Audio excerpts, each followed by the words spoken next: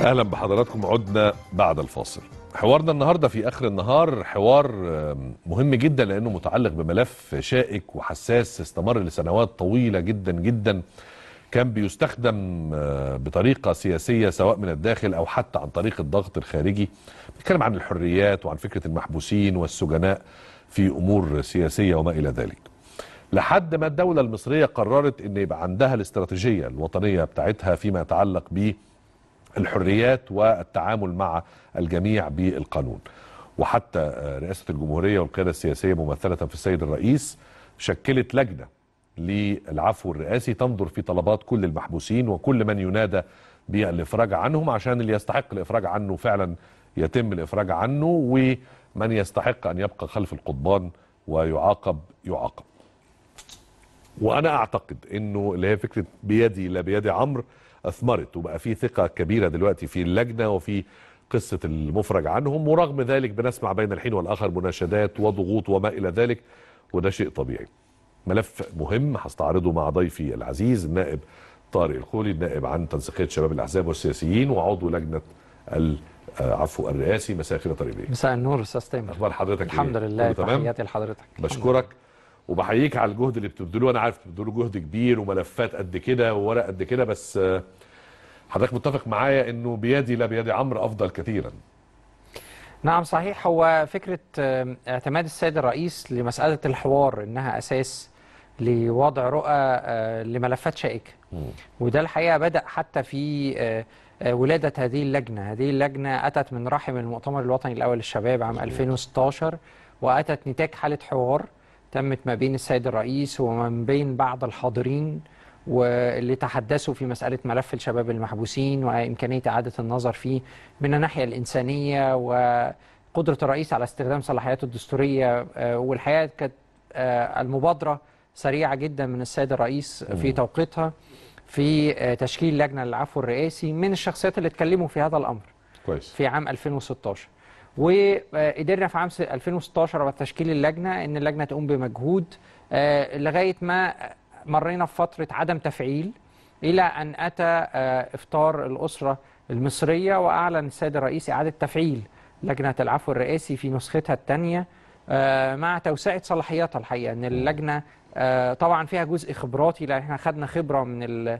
من 2016 لغاية دلوقتي في التعامل في الملفات وفي وضع الأولويات وفي كيفية التعامل بالمعايير اللي إحنا وضعناها وضع آه، تم وضعها من اللحظة الأولى وأن يمتد كمان صلاحيات العمل اللجنة لملف الغارمين والغارمات بما يحمله من كملف من طبعا. والمجتمعية آه، لها يعني آه، جانب إنساني كبير وامتدادها أيضا لمسألة الدمج المجتمعي. مظبوط. يعني فاللجنة كمان توسعت في عملها. فبعتقد إن الحوار كان آه، هو الأساس دائما.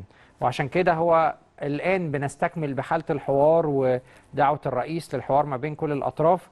آه، هو كجزء بيعتمد من خلاله الرئيس الحوار كأساس ومنهج لوضع آه، رؤى وسياسات ومعالجات للدولة. من الدولة دي أقصد بها ليس فقط النظام الحاكم وإنما كل أطراف الدولة المصرية في معالجة قضاياهم الداخلية. وهنا اللي بيقول إنه بيدي لا بيدي عمرو آه بيدي لا بيدي عمرو هذه هي الإرادة المصرية دايما تحط أولويات.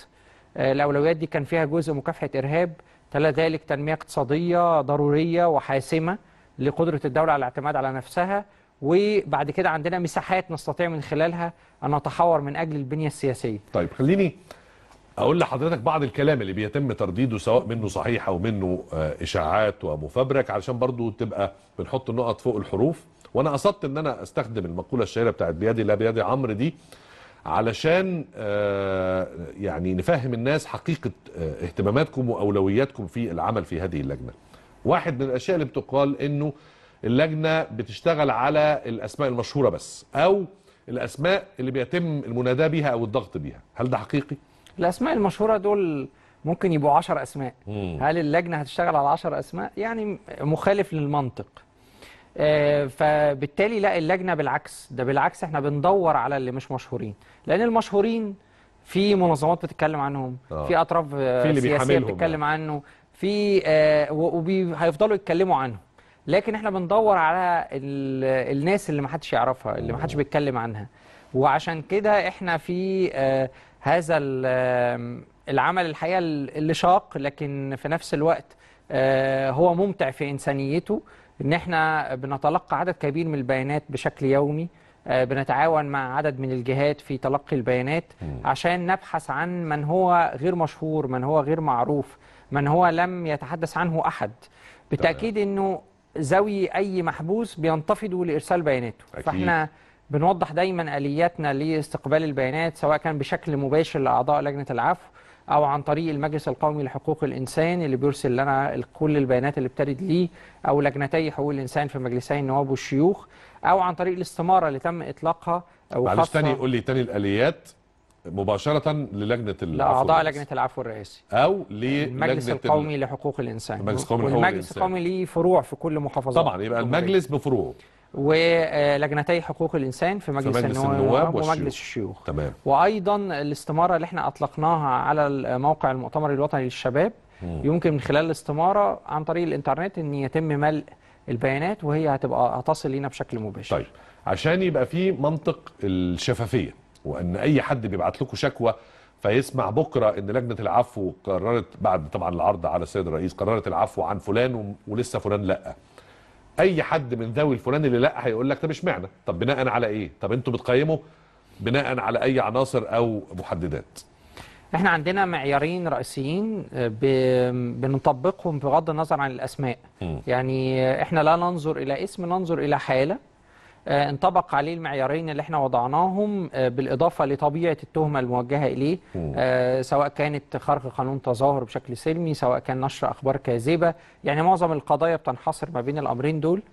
فبيتم إرسال هذه الأسماء إلى آه، رئاسة الجمهورية آه، لاتخاذ قرارات عفو بشانها كويس. آه، المعيارين هو عدم الانتماء لتنظيم إرهابي.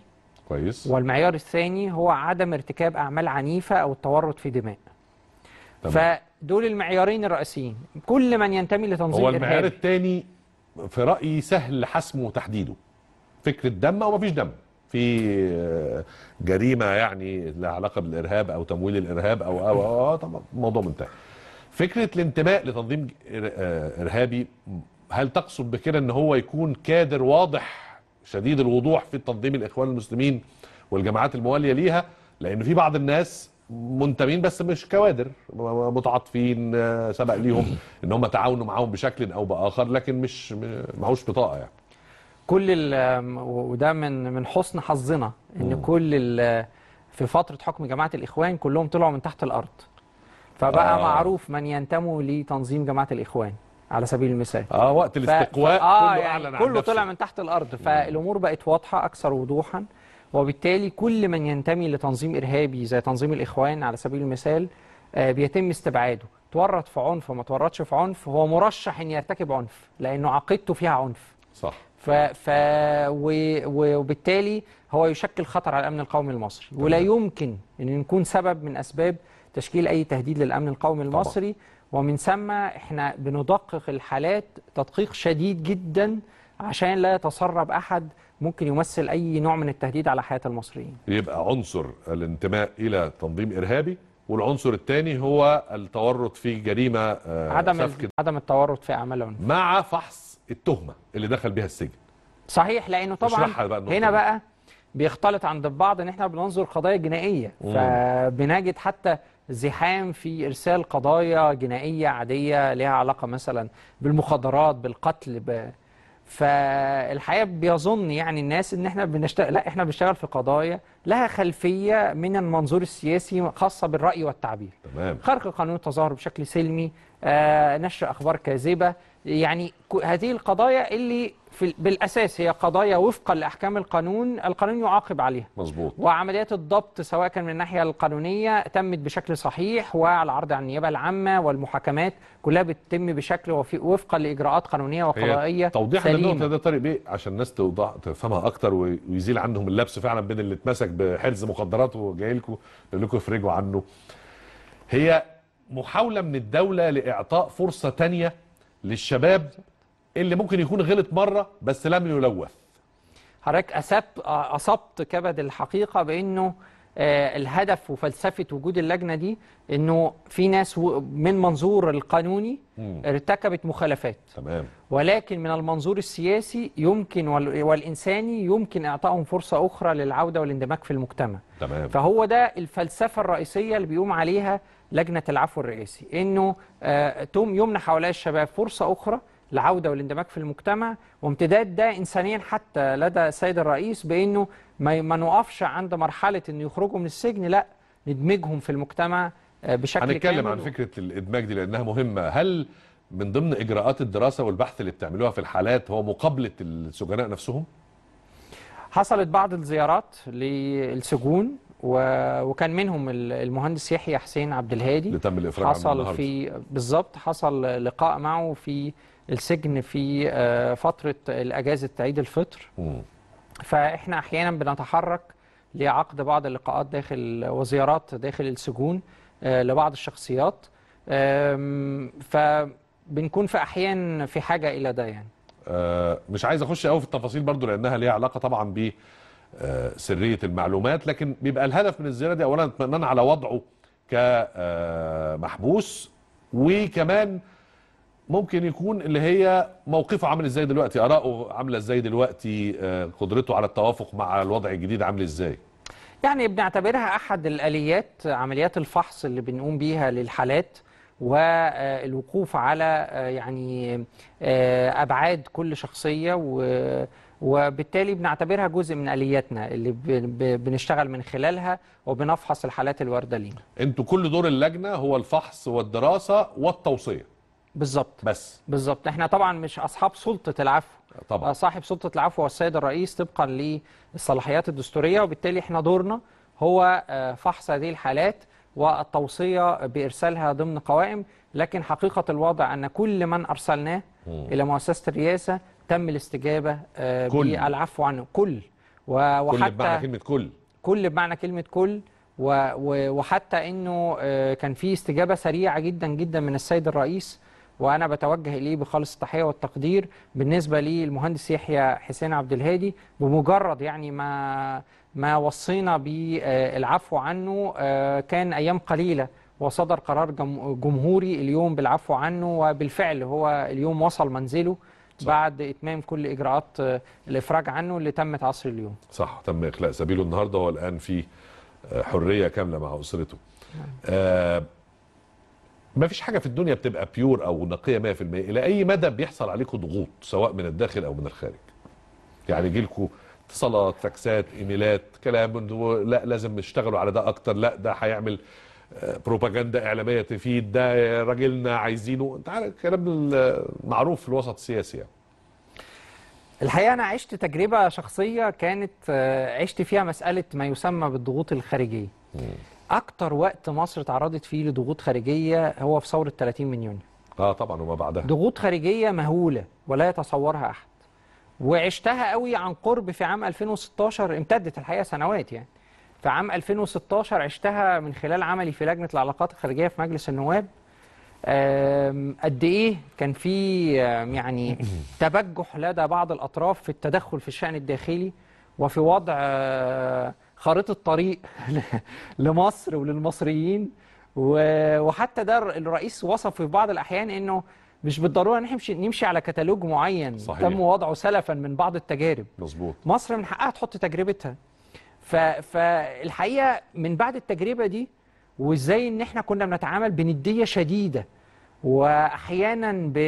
بحسم شديد واحيانا. برد في جزء من الخشونة والصرامة. والصرامة في عند التدخل في الشأن الداخلي المصري أنا عشت الحالة دي وبالتالي أنا جاي من منطلق هذه الحالة لا أقبل أي آه، ضغوط. ولا أقبل أي املاءات وبالتالي زملائي أيضا وغير مسموح بأي شكل من الأشكال إنه- غير مسموح. آه غير مسموح إن إحنا آه يعني يتم آم، يعني آم، توجيه أو طلب أو آه ضغط ما آه من أي طرف فالحقيقة ده مش وارد بالنسبة لنا وأنا أعتقد و- إن أنتوا يعني طبعا مشكورين على هذا التوجه بس أنا أيضا معتقد إن أنتوا استمدتوه من الحالة المصرية كلها اللي ما بعد 30 يونيو اللي كان فيها هذا الإباء فكرة الحسم اللي قاله السيد الرئيس إنه من النهارده إحنا عندنا أجندتنا الخاصة وطريقنا الخاص اللي إحنا ماشيين فيه وفقا لأولويات اللي بيحددها المصريين لأنه زمان أنت تعلم إنه كانت ضغوط سياسية في كتير من الأحيان كان بيتم الاستجابة ليها نظرا لأنه الموازين السياسية كانت مختلة يعني فأعتقد الوضع دلوقتي وكانت في. ضغوط اقتصادية وكان آم، كان في حتى في بعض الأحيان تبعية في القرار يعني مش صحيح. عايزين يعني صحيح نخوض في الماضي صحيح. كثيرا لكن ال... إحنا مبسوطين إن الوضع كده ده اتغير إحنا بنعتبر ان ثورة 30 من يونيو فيها شق الحفاظ على الهوية المصرية وشق استقلال القرار الوطني المصري. مليون في المية. يعني و- والحقيقة إحنا خضنا تجربة استقلال القرار لأنه آه، وكان في أيضا منظور في كيفية الحفاظ على استقلال القرار الوطني صح. بالبنية الاقتصادية وبتنويع مصادر التسليح وبغيرها. كان في إجراءات عشان أحافظ على قراري الوطني. دي مسألة مش سهلة. مظبوط. ولا مسألة كده بتيجي إن أنا أنا عايز أحافظ على قراري الوطني. لا هي مسألة ليها علاقة بمنظور دولة صح. و- وكيفية آه، إيجاد كل ال- يعني الأطر في الاعتماد على النفس. وصياغة علاقات دولية متوازنة بالظبط. قائمة على النديه لا يعني قصة وملفات. مؤسسات ف- الدولة كلها فبالتالي مسألة الضغوط الخارجية دي مسألة مش واردة بأي شكل من الأشكال. وحتى إنه البعض مثلا خرج في بعض منظمات دولية قال إنه لجنة العفو عادت للتفعيل بسبب ضغوط خارجية. الحقيقة أنا است... يعني تلقيت ده بالضحك لأنه يعني ضغوط خارجية إيه؟ مصر في في 30 يونيو يعني كانت الضغوط فوق الوصف. يعني مظبوط. وكانت متعلقة بتجويع المصريين ومتعلقة باستخدام مسألة التسليح للجيش كأحد آه، وسائل آه،. الضغط. فإحنا عشنا الضغط بجد ولم نرضخ ليه ونفذت إرادة المصريين في 30 من يونيو مظبوط فبالتالي آه، آه، لا يمكن إن إحنا نقبل بأي شكل من الأشكال أي ضغوط وزي ما الرئيس وصف دايما إحنا قوتنا في وحدتنا مم. يعني وحدة الشعب والوحدة مش بالضرورة إن كلنا نكون عندنا رأي واحد صحيح. إزاء كل الأمور لا في تنوع في الرأي لكن على أساس وقاعدة وطنية وعلى أساس إن إحنا كلنا مؤمنين بإنه آه، استقرار الوطن. وحمايته هو أمر غير قابل للنقاش أو غير قابل للمساومة أو غير قابل للمساس به صحيح. وفي في رأيي كمان في ميزة أخرى من فكرة لجنة العفو والإفراج عن بعض المحبوسين اللي أيديهم لم تتلطخ بالدماء دي وهي فكرة آه، العودة لفكرة المس- الاصطفاف الوطني فكرة صحيح. ان إحنا كلنا مصريين وكلنا قادرين دلوقتي على إن نكون شركاء في بناء آه، آه، آه، الوطن. دون إقصاء فصيل إلا من ينتمي للفصيل الإرهابي طبعا وهي أيضا استكمالا لده هو نشر فكرة التسامح في المجتمع مم. إنه آه، آه، في مقدرة الآن على إنه في ناس تخرج من من السجن وتعود لحياتهم بشكل طبيعي من الناحية الإنسانية ومن ناحية فكرة إرساء آه، مبادئ التسامح في المجتمع والقدرة على إنه المجتمع عدى فترة صعبة وبالتالي هو قادر على إن يكون عنده مساحات أرحب وأوسع من آه، بناء فكرة التسامح والتعامل من خلالها مظبوط. الحقيقة ده كله بيجي نتاج آه، نجاح مصر على مستوى مكافحة الإرهاب. مم. على اللي قدمه شهدائنا من تضحيات عشان يستقر الوطن. ونقدر إن نصل للإجراءات اللي تمت في الفترة الأخيرة. الغاء حاله الطوارئ إصدار الاستراتيجية الوطنية لحقوق الإنسان إعادة تفعيل لجنة العفو الرئاسي القرارات اللي بتتم الآن بالافراجات اللي بتتم. إعادة تشكيل حتى المجلس القومي لحقوق الإنسان. في مظبوط. إجراءات كتير تمت على مدار الفترة الماضية. الدولة حطت على نفسها التزام مم. لم يعني مش مجبرة في مسألة مظبوط. الاستراتيجية الوطنية لحقوق الإنسان. وضعت خارطة طريق زمنية لتنمية الحياة الحقوقية والسياسية آه، في مصر. آه، أيضا الحوار الوطني اللي دعا ليه السيد الرئيس برضه هو آه، ليس آه، في أي التزام على القيادة السياسية فأن لا هو التزام لكن مش ولكن إلزام. بالظبط. آه.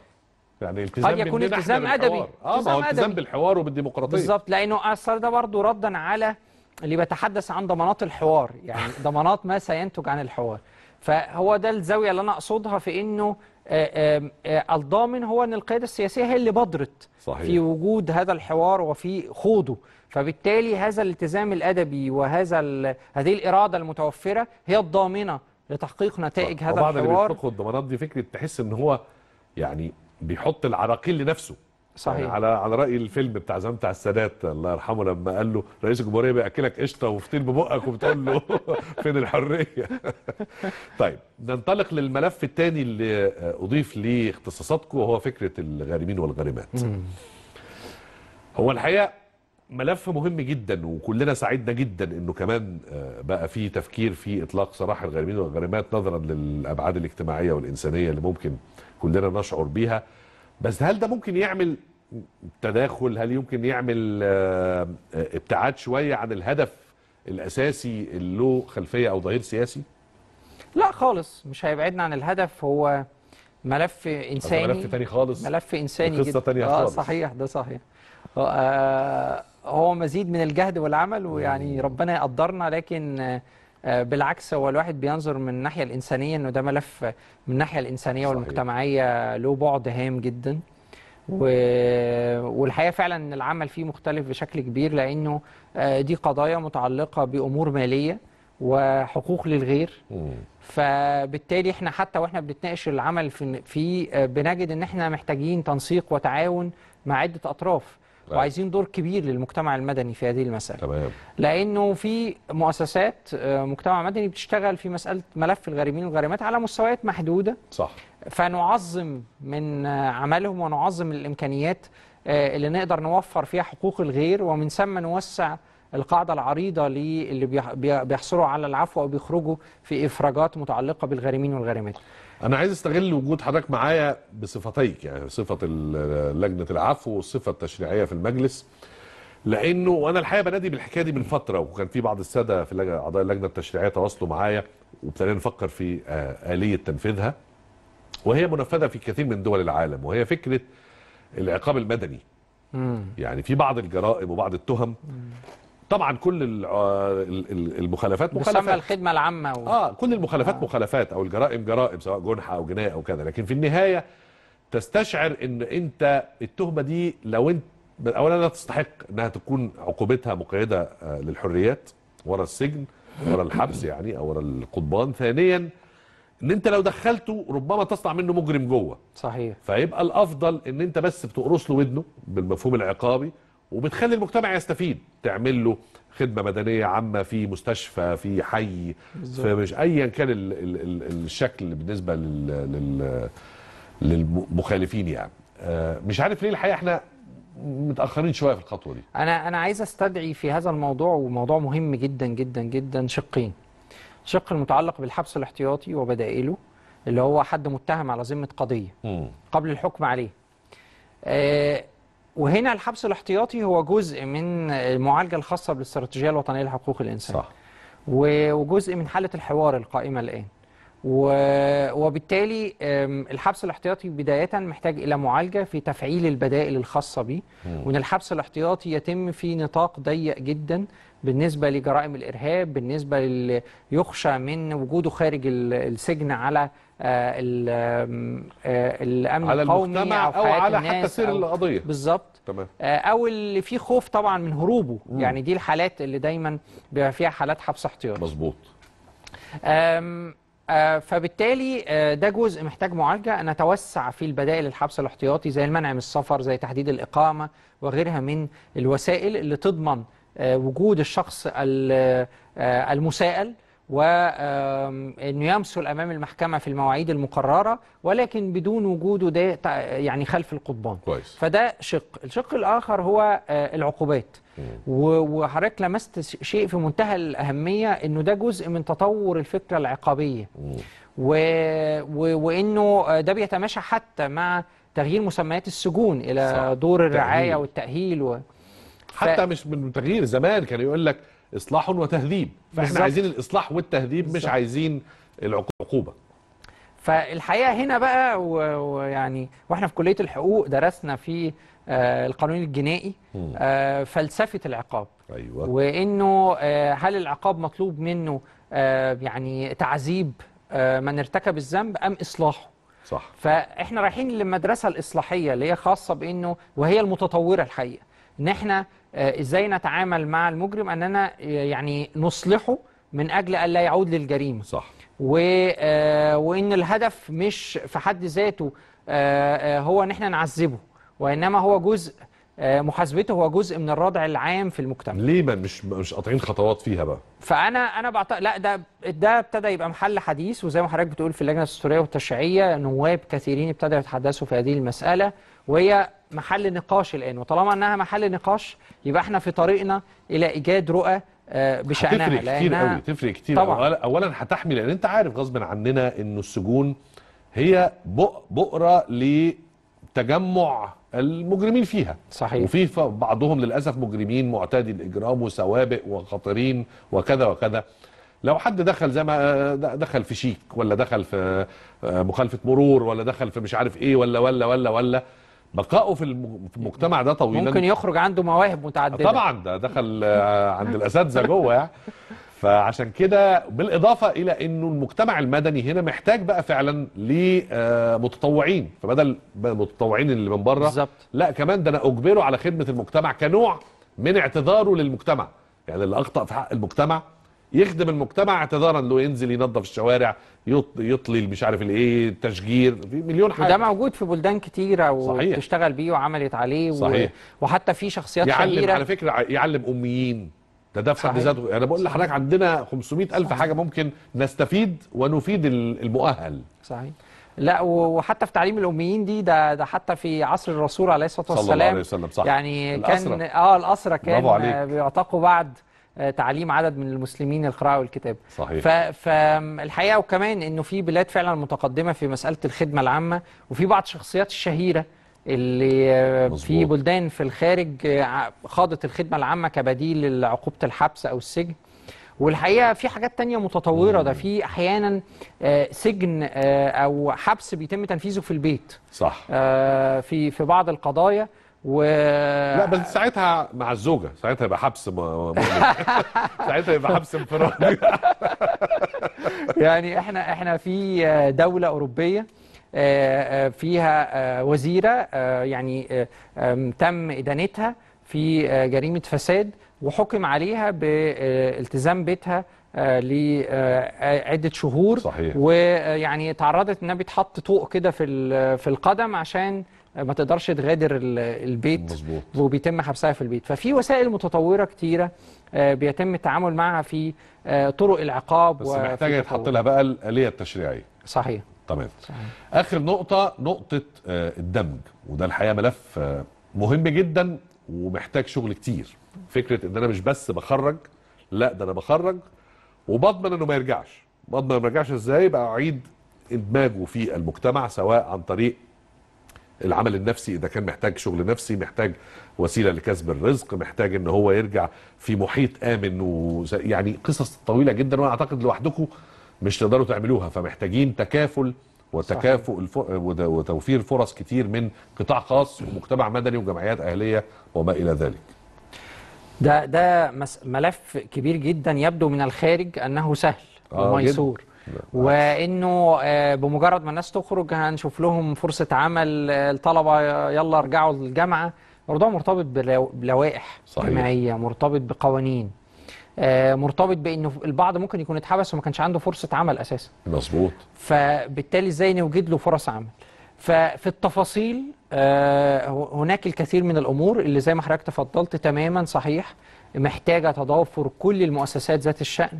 البرلمان إذا كان في حاجة لتعديلات تشريعية آه، ممكن نكون بنواجه صحيفة الحالة الجنائية طبعا. إنها تكون عائق أمام الدمج المجتمعي آه، بالتالي ده محتاج معالجة قانونية ومعالجة تضمن إن ما يبقاش في حد برضه متسرب يأثر على أو يمثل خطر على المجتمع. المسائل عايزة كده إيه؟ وزنة. آه بالظبط عايزة وزنه وزنه منضبطة إن إحنا اللي بنستهدفهم آه آه إن يقدروا إن هم يندمجوا في المجتمع صح. بشكل ميسور لكن من غير ما نأثر على المجتمع بإنه حد يتسرب آه من بعيد. ويبوظ بقية الصورة على الاخرين يمثل تهديد على المجتمع. بالظبط كده. صحيح. وكمان لينا دور كمان معاكم في إن إحنا نرسخ ثقافة آه، التقبل المجتمعي.